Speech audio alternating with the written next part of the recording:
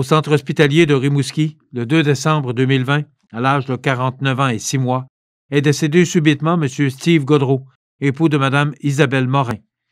Il était le fils de M. Martin Godreau et de feu Dame Lorraine Thibault. Il demeurait à Rimouski et était natif de Montmagny.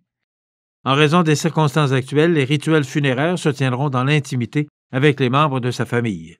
Une cérémonie hommage aura lieu ultérieurement avec ses amis et collègues lors de la déposition des cendres au mausolée de Rimouski. Vos témoignages de sympathie peuvent se traduire par un don à la Fondation des maladies du cœur et de l'AVC. La direction a été confiée à la maison funéraire Laurent Normand, 115 rue Saint-Louis, Montmagny.